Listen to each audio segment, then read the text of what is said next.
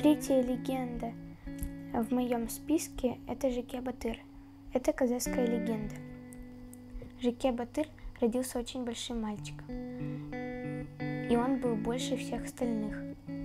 Когда он вырос, тогда на его, на, э, на его ау стали нападать разбойники, и он сокрушал их один. Однажды на него напала такая армия, когда он ее сокрушал, но прибывали все новые и новые. Они пытались его пробить большими стрелами. Прошли дни и ночи, но они смогли его пробить. Он понял, что это его последний рывок.